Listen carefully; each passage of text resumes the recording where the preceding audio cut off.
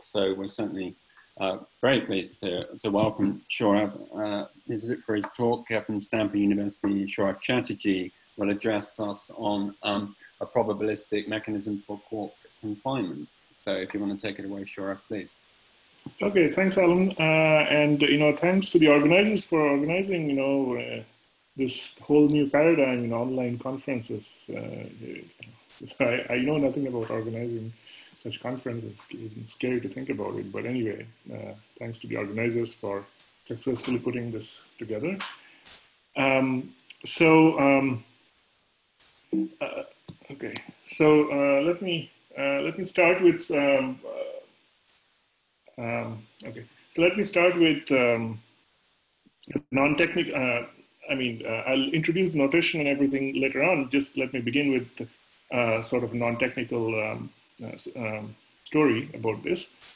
Um, so what are quantum Yang-Mills theories? So these are components of the standard model of quantum mechanics.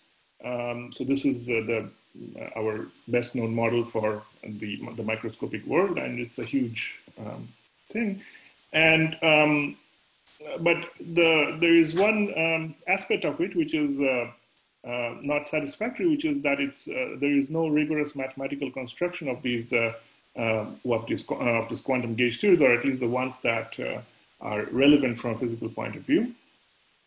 Um, so, so to solve the mathematical problem, the most popular approach is the program of constructive field theory, and what people do in this approach is that one starts with a statistical physics model on the lattice, okay?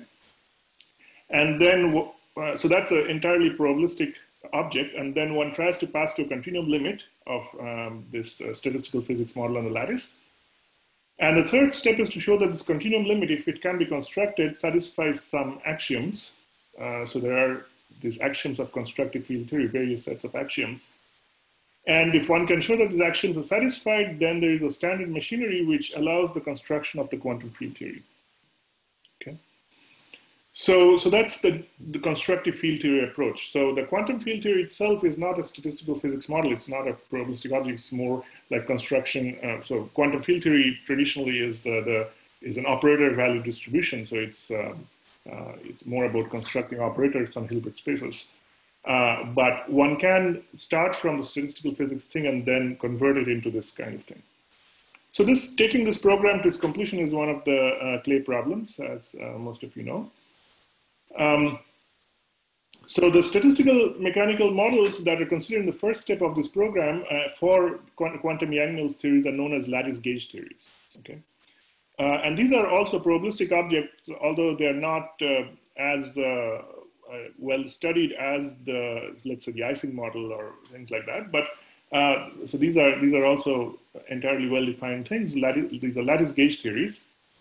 And there are various levels of complexity. So one can um, uh, you know, couple a lattice gauge theory with a Higgs field, uh, and uh, or or you may not, and you just consider pure lattice gauge theory, which, which is a simpler object.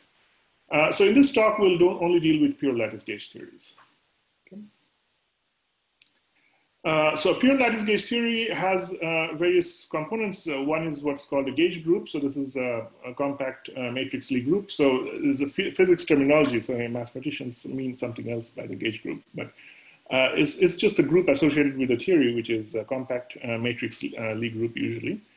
And the dimension of space-time, so usually the most important case is dimension four, because our space-time is four-dimensional.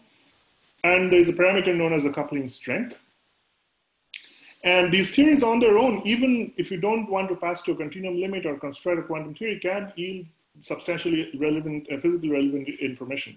So, so the thing is, you know, the point of interest here is that there are many things in physics. Uh, so the, so the, so theoretical physics around quantum field theory is mainly about perturbative calculations. So, so you, uh, you know, this whole machinery of Feynman diagrams is you start with something which is Gaussian and then you add a non-Gaussian component to it uh, with a small parameter in front, and then you expand, and then you uh, do these perturbative calculations, and they can be very, very complex.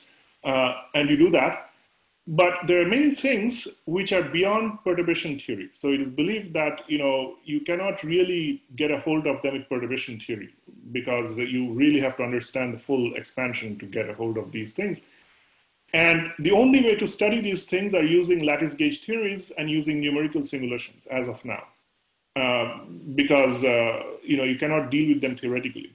So there are there are you know a huge amount of computational effort that is spent. You know, huge you know running supercomputers even running. There there are people doing this in CERN uh, to you know predict masses of elementary particles and other quantities using lattice gauge theories. So uh, so you know there are all kinds of elementary particles, and you know most of, of which you know you wouldn't even know if you're not a physicist. Uh, and uh, you can use lattice gauge theories, uh, you know, not pure lattice gauge theories, more co complicated versions, um, to simulate and you know predict the masses of these things. And so I've been told that um, in many cases the predictions match up to one percent accuracy, so which is which is pretty good. So now coming to the mathematical questions, uh, there are two very important questions which are already mentioned in the in the clay problem um, uh, description. Uh, one is the mass gap. So uh, it's the question of Yang-Mills mass gap. And in lattice gauge theories, there is lattice gauge version of mass gap, which is, you know, proving that would, you know, almost be like solving the problem. Uh, so that's that's the main step to prove this exponential decay of correlations under a certain kind of boundary condition. And so this uh, thing, this um, certain kind, kind of boundary condition, it's, it's, a rather subtle point, and it's not usually um, mentioned, but you know, I ran into this, and so I, will tell you what, what this is about.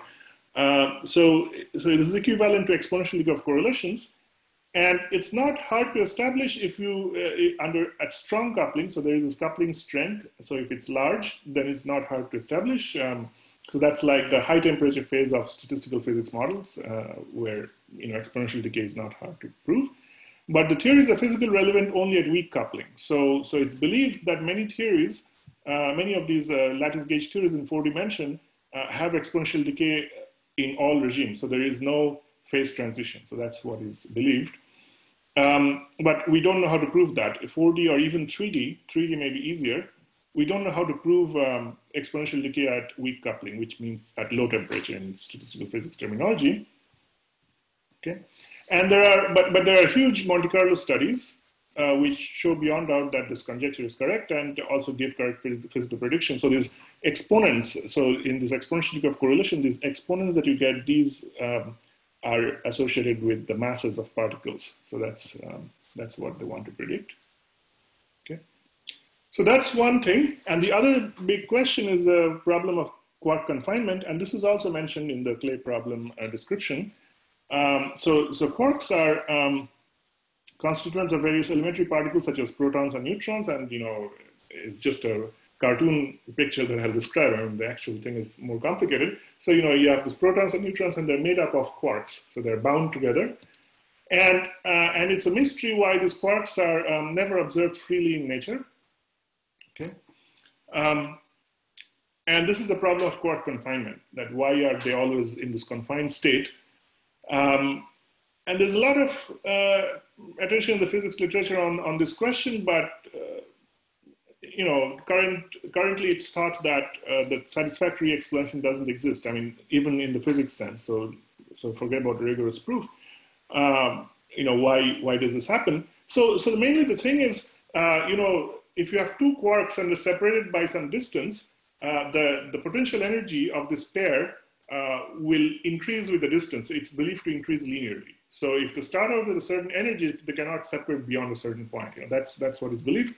And then they uh, know how to use lattice gauge theories to calculate this potential energy using these Wilson loops. Um, and so that's, so I'll, I'll tell you the mathematical formulation of this uh, later on. Uh, so this is the formulation that I'll talk about. So Wilson argued that quark confinement is equivalent to showing that certain lattice gauge theory satisfies what's uh, now known as this Wilson area law. And there are a number of deep results that are known about the area law, and uh, you know I can talk about them, but you know I don't have time today to talk about uh, this. So you can see in my in my preprint the uh, the results that are that are known. Um, but the main question about proving this uh, area law in the uh, in the theories of interest it remains open. Okay. So, uh, any questions or somehow I can't see the Zoom and the uh, PDF simultaneously. So I don't know if there are questions in the chat. I hope Sky has been answering. Uh, okay, so. Um, Okay, so there are these two questions. Until now, know, I haven't said anything mathematical. You know, I'm just giving this broad uh, overview. So, just you know, before saying anything mathematical, just let me tell you the um, the main result in uh, in plain language uh, is that the main result is that if the gauge group is compact, connected, and has a non-trivial center, and most of the groups of interest satisfy this condition. So SU3 is the most important uh, group somehow. So SU3 is compact, connected, and has a non-trivial center.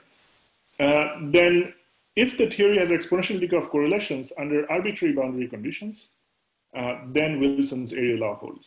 So that's the main result, okay? So, so usually, you know, um, exponential decay of correlations is thought to be the same as mass gap, but there is some little subtlety here, which I'll talk about. Uh, the non-triviality of the center is known as center symmetry, and uh, there's a long history in physics uh, connecting center symmetry to uh, confinement. Uh, and this is, uh, I think, the first result that gives a rigorous uh, justification for that. Um, now, the exponential decay assumption is stronger than usual mass gap, which means exponential decay under specific boundary condition. So I call it in the paper, I call it strong mass gap. Um, and there's a long-standing belief in physics, uh, originating uh, in this work of 't Hooft, uh, that mass gap, if a theory has mass gap and the center symmetry is unbroken, then there, then you have confinement. And so this unbroken, you know, is, is not a rigorously defined concept, and I don't have the time to go into that what it means because it doesn't have a simple description. Uh, what is meant by so center symmetry seems like it's just a property of the group you know how can it be broken but what this means is that the effect of the center symmetry is broken somehow um, and uh, so so this is you know there are various different definitions and none of them is completely mathematically precise uh, what is meant by unbroken center symmetry but anyway there is a general belief that mass gap plus unbroken center symmetry implies confinement now what this result shows is that if you have strong mass gap, if you have exponential decay under all boundary conditions, and you have center symmetry, so you don't have to worry about broken, unbroken. You just have, uh, you know, this uh, non-trivial center. The group has a non-trivial center. Then you have confinement. So now, uh, what is going on here? So there was some puzzlement. I was, uh, you know, talking to some faces, uh, you know, Steve Shenker and Ed Witten, and uh, uh, you know, because they know that there are some theories which have both mass gap and center symmetry and the non-trivial center, and but they are not known to be non not confining. Uh, so then it uh, so so so then you know it took a while to understand that uh, uh, you know mass gap is actually exponentially under a specific boundary condition, which is implicit, but it's you know it's not you know spelled out clearly in this way. Um, so, so this uh, this exponential decay assumption that I make is that on you know, arbitrary boundary conditions is stronger. And what uh, Witten thinks uh, is that um, this, this strengthening is what prevents the spontaneous breaking of center symmetry. So I have no way to state that precisely uh, in, a mathematical way what that means, uh, even after, you know, so I'll give, I'll, you know, I'll make this main result completely clear. So I'll, I'll say it, you know, I'll give out all the mathematical details of it. But even after that, I don't have a way to make this precise. But uh, anyway, so this is the this is what is thought to be going on physically. Um, okay. Okay. So any questions?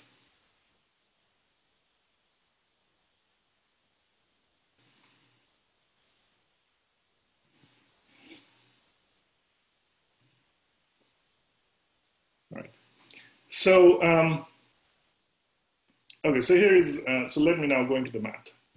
So, so this is a math talk, it's not a physics talk, so I'll just go into the math now. Uh, so let n and d be two integers, n is at least one, d is at least two, and then take a, a closed connected subgroup of the unitary group un. So let G be a closed connected subgroup of the unitary group un, and this G will be fixed throughout, and little n will also be fixed throughout. So, uh, so think of G as SU3, okay? n is n equals 3, g as SU3. Um, now you take a big cube in uh, the lattice. So this, this is capital N. So this will be sent to infinity. Capital N will be sent to infinity. Uh, you take a big cube in the, uh, in, in the d-dimensional lattice. And then you let En be the set of positively oriented nearest neighbor edges of Bn. Okay. So each edge of this cube uh, can be positively or negatively oriented. So you just take the positive orientation.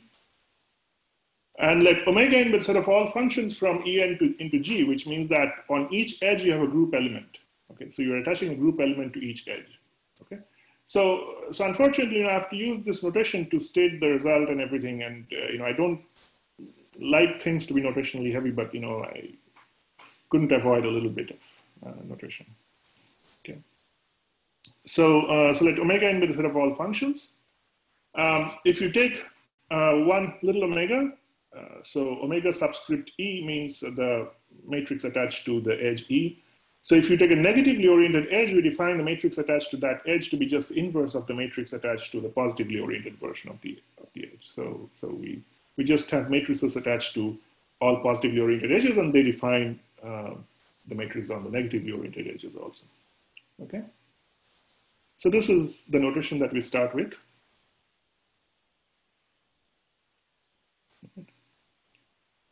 So now there's this concept of a plaquette, which is very important in lattice gauge theories. Uh, so a plaquette is just a set of four directed edges that form the boundary of a square. And let Pn be the set of all plaquettes in Bn. So Bn is this big cube, and Pn is a set of all plaquettes, so little squares in Bn. And given some plaquette P and some configuration omega, define the matrix attached to the plaquette as follows. So you write P as a sequence of four directed edges, E1, E2, E3, and E4, as in this picture. Okay. And you let omega P be the multiplication of these things. So, so in, the, in the correct directions. So E3 is negatively oriented here, E1 is positively oriented. So, so you, you know, use the definition from the previous slide to define omega E3. And so there are some ambiguities in this definition about the choice of E1, which is the first edge, and also the direction of traversing. So you can, uh, you can traverse in two ways. But that's not problematic because we'll only use this quantity, the real part of the trace of this matrix, and these are not affected by this ambiguity. So, so you can stop worrying about that. Okay. okay. All right. So, uh, so you have this uh, picture where you have this big cube and you have um, matrices attached to edges of the cube, and then you have these little plaquettes, and uh, you um, attach matrices to plaquettes by multiplying the matrices along the four uh, edges forming the boundary of the plaquette. Now let del En be the set of positively oriented boundary edges of the cube, and del omega n the set of all functions from del en into g. So these are the this is the elements of the del omega n at the boundary condition. So these are uh, you know assignments of um, matrices to boundary edges. And then you consider also the interior edges, so inside the cube. And then you uh, uh, then you have the set of interior edges, and let omega n circle be the set of all functions. So you know it's just very simple sorry, I have to introduce this, this, much, this much notation. Um, so you have assignment of uh, matrices to boundary edges and to interior edges. And then you define a Hamiltonian as follows. So take, fix any boundary condition delta. So you fix the, uh, the matrices on the boundary edges. And now you take any configuration inside and then you extend it to and uh, a full configuration by just defining it to be delta on the boundary. And then you define this Hamiltonian uh, as follows. The Hamiltonian is uh, you take all plaquettes, you take the real part of the trace of omega p, omega tilde, so with this extension, which means that you consider plaquettes which may contain some boundary edges also. So the boundary edges are now fixed. The interior edges are the only free things. And then you sum over all plaquettes, and that's, that's the Hamiltonian. Okay, so I'm trying to define a statistical physics model, and I think most of the people in the audience are familiar with uh, with statistical physics, you know, Hamiltonians and so on. So, I'm not going into the details of how why you're doing this, but Um, but this is the Hamiltonian for pure lattice gauge theory. Okay.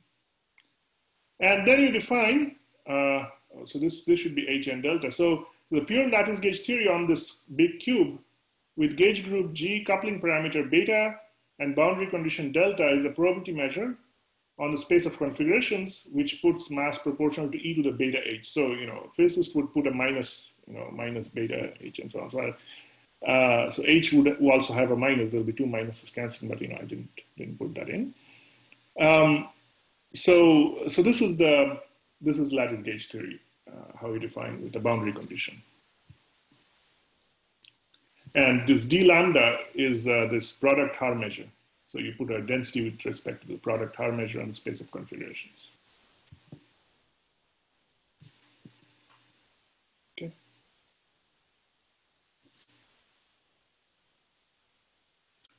Okay, so, so just to have a look at the Hamiltonian again, uh, it's the sum of the real part of the trace of all the omega p's.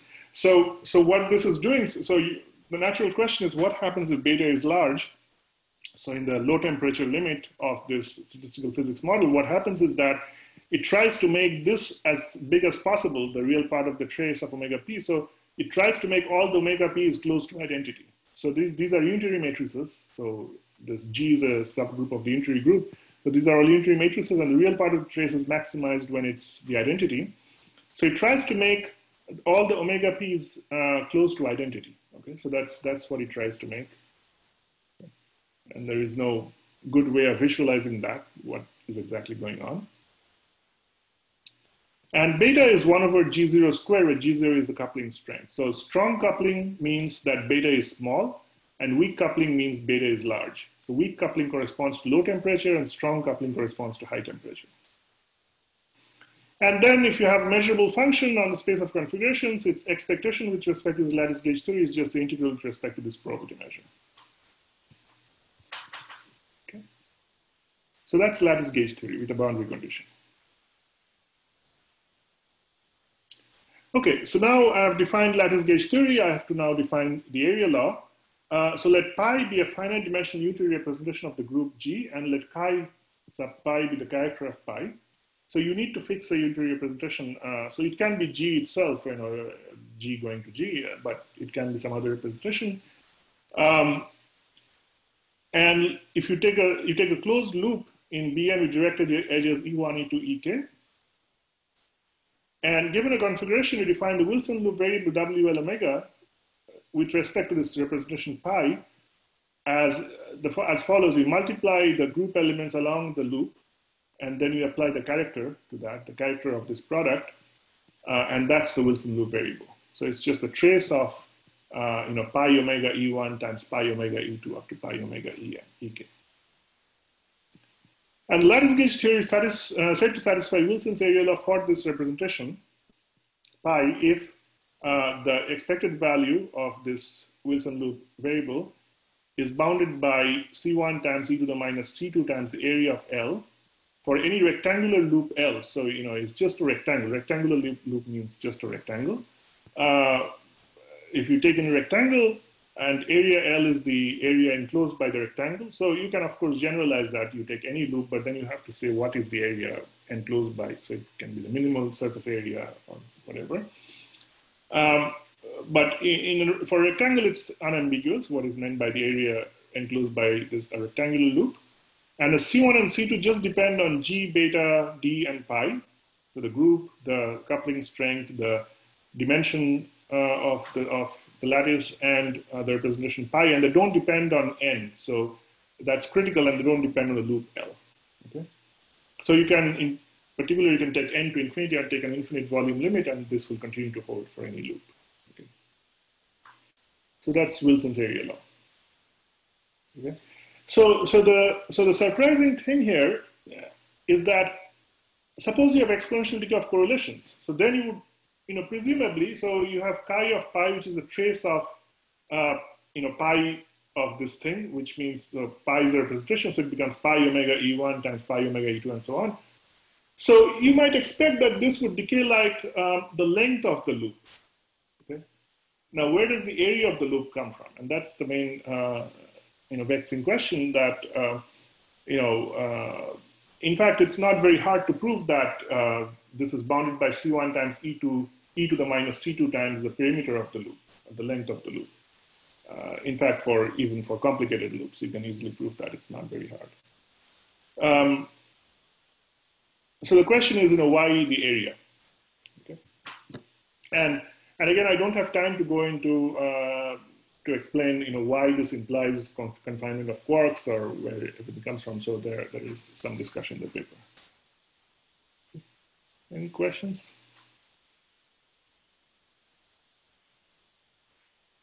Okay, so here are the two main assumptions. The first is center symmetry. So we assume that the center of G is non-trivial. And moreover, um, the representation pi uh, also maps the center to a non-trivial uh, subgroup. Uh, so pi of G0 is C times the identity for some C not equal to 1, where I is the n by m identity matrix, n being the dimension of pi. And if pi is an irreducible representation, usually we work with irreducible, irreducible representations. You know, by Schur's lemma, this um, just means that uh, the image of the center under pi is non-trivial. Okay, so that's that's what it means. So that's the assumption about pi and g. Okay, the strong mass gap is a little. Um, it takes a little bit more to say. So let's say that two edges are neighbors if they belong to some common plaquette.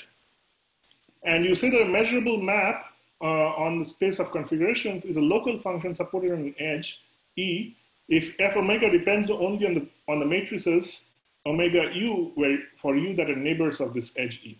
Okay, so let's, let's just define a function that just depends on a few edges that are neighbors of, of a given edge. And given two local functions, let the distance fg denote the Euclidean distance between the midpoints of the supporting edges. So, you know, just for definiteness, you know, I just define it to the distance between the supports. And here is the assumption that there are positive constants k1 and k2 depending only on g, beta, and d, and not on n or the boundary condition, such that for any two local functions on the space of configurations, the correlation between them, or the covariance, under the lattice gauge theory is bounded by k1 times e to the minus k2 times the distance between their supporting edges. Okay, so the correlations between local functions decay exponentially. So that's the strong mass gap assumption. And the usual mass gap would be that you wouldn't have that under all boundary conditions. You would have that under some specific boundary condition. So these are the two assumptions that I make. And so here is the theorem, the full statement of the theorem. Uh, let me read it out for you. So let G be a compact connected subgroup of UN for some n. Uh, and let pi be a finite dimensional unitary representation of G. Take any d bigger than or equal to 2 and beta in R, so I don't even need beta to be non-negative, it can, can be a real number. And consider lattice gauge theory on the cube uh, Bn with these parameters. And suppose that the center symmetry and the strong mass gap assumptions are satisfied. But then there are positive constants C1 and C2 depending only on G, beta, pi, and D, and not on N or the boundary condition. So, so then you take any N and any boundary condition, and you take a loop that is contained, well contained in the in Bn, so it's far away from the boundary. It's contained in Bn prime for some n prime less than n over 2, so it's away from the boundary. Then this uh, expected value of the Wilson loop variable is bounded by C1 times e to the minus C2 times the area of L. And moreover, um, if you don't like working with this uh, in these finite boxes, one can say under these, these assumptions, under the strong mass gap assumption, that there is a unique infinite volume Gibbs state.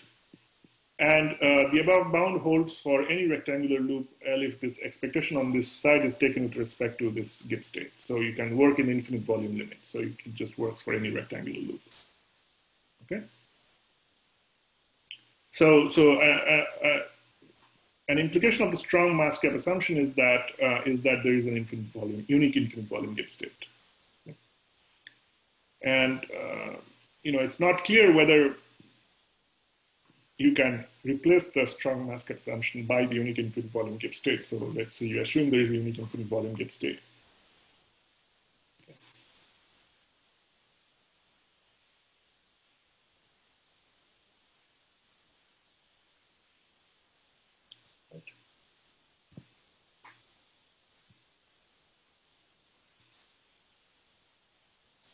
Okay, so that's the that's the main result, and that's just an elaboration of what I wrote down earlier. Okay, some remarks. Uh, so as mentioned earlier, the strong mass gap is stronger than usual mass gap. Um, and the strong mass gap is satisfied if beta is small enough. For any lattice gauge theory, you can show that if beta is small enough, this is, this is satisfied. And so this um, recovers an old result of Osterwalder and Seiler, who proved that if beta is small enough, then uh, you have area law. But this says much more since we don't have, so it's essentially extended this result of Osterwalder and uh, Seiler to say that area law holds in the full high temperature regime. So if you take the strong mass gap as a definition of the full high temperature regime. Now, it is believed that for usual mass gap, um, for four-dimensional non-abelian theories, in particular, not all non-abelian theories, in particular for SU3 theory, which is quantum chromodynamics, that's the most important theory. Uh, for four-dimensional theories, um, this exponential decay holds at all beta. And if that conjecture is correct, and you know, I've also heard it said that uh, you know people believe that for for SU3, you know, uh, unique Gibbs state also holds for all beta, uh, then it's plausible that uh, you know the this exponential decay under arbitrary boundary conditions also hold for all beta. Okay, and so this if this if we can prove that, then that will solve the confinement problem. The, you know, the the theorem that I presented will then imply imply confinement if if this holds. So, uh, so one other remark is that there's, there's a first rigorous result that throws light on the roles of this mass gap and center symmetry and confinement. So these are physicists think that they understand this well, the roles of mass gap and center symmetry. Um, and so this, um, so this is the first result that proves that. Okay, so I'll, yeah, I have a little bit of time to go into the proof sketch, um, but I don't take enough time, but I'll try. Any questions before that? Okay, so okay, so so yeah, you'll see that it's not. The, the idea is actually quite simple. Um, so so let the first coordinate in uh, RD denote time, and let L be a rectangular loop with side lengths r and t, where the sides of length t are parallel to the time axis so that you can imagine them going up vertically. We want to show that the expectation of the Wilson loop is bounded by C1 times e to the minus C2 times r times t. Okay, so that's what we want to show. Now, as I mentioned before, it's not very difficult to prove the perimeter law bound, which is instead of r times t of r plus t.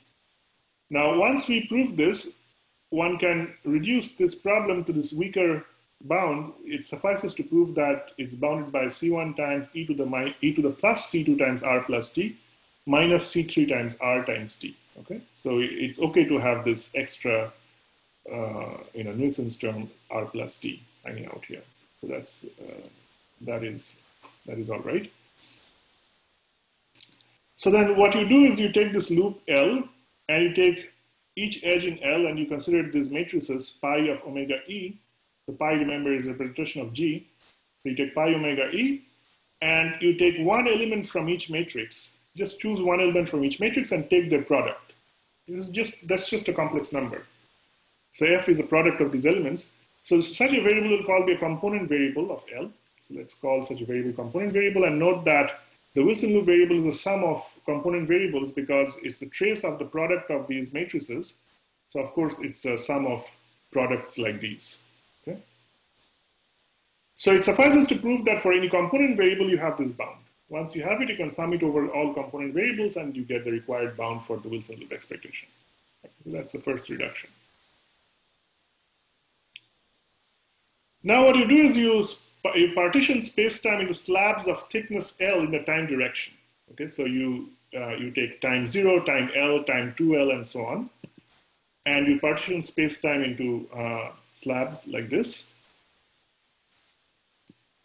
And let R be T over L, so the number of slabs. So if you go up to time T, so this thick uh, uh, you know, box here is the Wilson loop.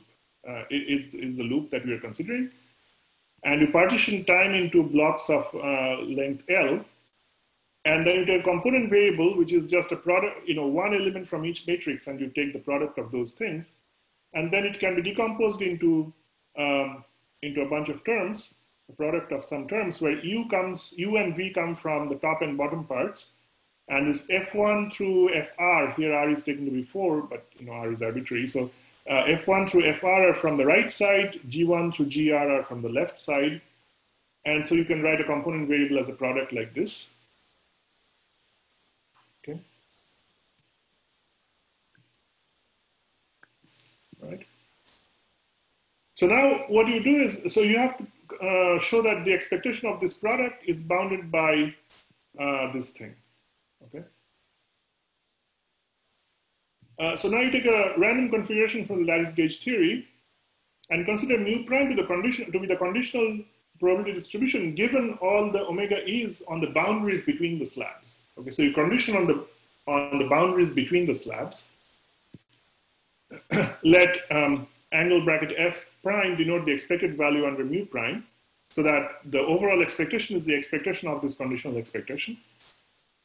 So it suffices to prove the area law for this conditional expectation with constants that are not random. Okay, so that's that that would be sufficient. So um, so under mu prime, by the nature of the lattice gauge theory, you know how the lattice, lattice gauge theory is a you know Markov random field. So what, when you condition on the um, on the boundaries between the slabs, what happens inside the slabs are independent. So, so we get, and U and V are then become constant because they come from the bottom and the top and which are fixed now.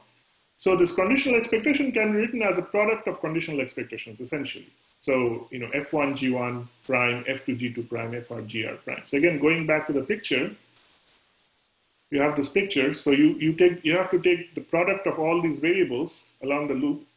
Now, once you condition on boundaries, um, the what happens between within, this, within each slab become independent of each other.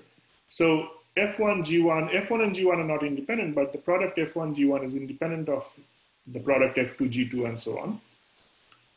So this conditional expectation becomes a product of these conditional expectations. So if we want to show this, it suffices to prove that the conditional expectation of each Fi, Gi prime is bounded eh, by e to the minus r, essentially. So R is the distance between the support of Fi and Gi. Okay? And L, the thickness of the block is a constant, of a slab is constant. Okay, so, so this is, we are constantly reducing the problem to simpler and simpler problems. Now, under this conditional expectation, this is where the non-trivial center comes in. So you, you have conditioned on the uh, values uh, within the slabs so you have conditioned the values uh, uh, on, on, sorry, on the, on the boundaries of the slabs, okay? Now, even after this conditioning, uh, this Fi and Gi variables that you have, the conditional expectations are zero. And this holds because G has non-trivial center. This is not true if G doesn't have non-trivial center. Okay, so this is a small calculation that one can do and uh, you know, use the symmetry to prove that this holds. So therefore, we wanted to show that, you know, Fi prime, this has, is bounded by e to the minus c times r. So you can stick in this F, Fi prime Gi prime here, okay? So we just need to show that within each slab, uh, correlations decay exponentially, okay? These truncated correlations. So these, uh, these what, what probabilists will call covariances. Covariances decay exponentially inside each slab after conditioning on the boundaries.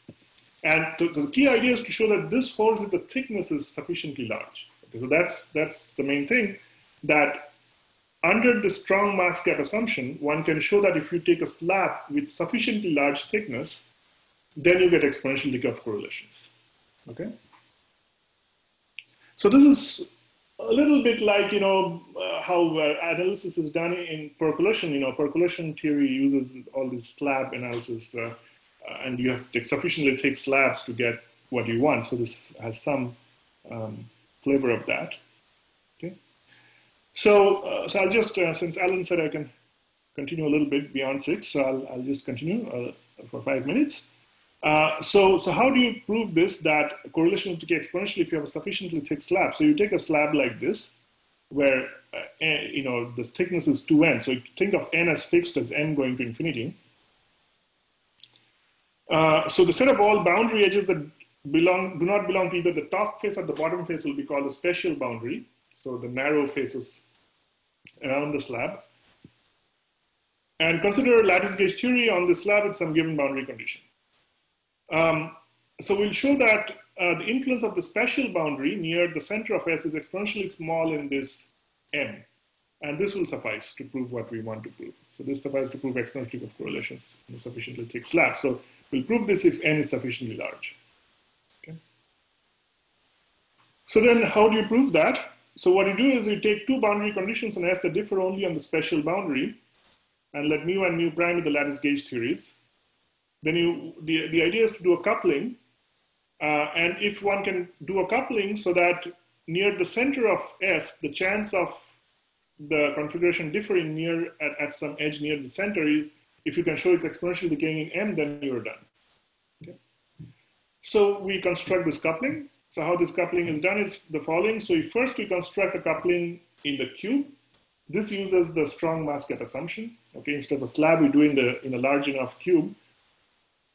Um, and and here we use the connectedness of the gauge group, and we, we want to pass smoothly from one boundary condition to another by, you know, doing a path in the Lie, in the product Lie group. And so this is where uh, we use the connectedness, and this is why the two-point correlations suffice. So somehow the, the two-point correlations come in the calculations. Uh, the connectedness and also the compactness of the group. Yeah, I mean, the compactness guarantees that uh, this is also a Lie group, which is very important. Um, now, so, so then step two is that given a coupling or in a slab, now instead of a cube, we do a slab. What we do is you update the coupling. What we do is we, we choose a cube inside the slab uniformly at random, and then use the coupling from the first step to regenerate inside the cube. So you take the original coupling and then you improve it by doing something better inside this cube using the first step. And then uh, you can quantify the amount of improvement through an inequality. And this updating is repeated an infinite, infinite number of times. So we choose a cube inside a slab, we update. We choose another cube, we update. So you start from some any any coupling initially, and then you keep updating infinitely many times, and then one can show that using a, through a subsequential limit, we can get a very good coupling.